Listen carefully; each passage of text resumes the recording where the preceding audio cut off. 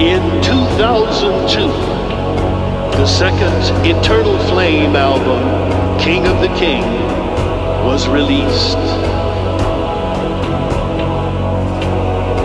Ten years later, in 2012, work started on the new Eternal Flame recordings to be released in 2000.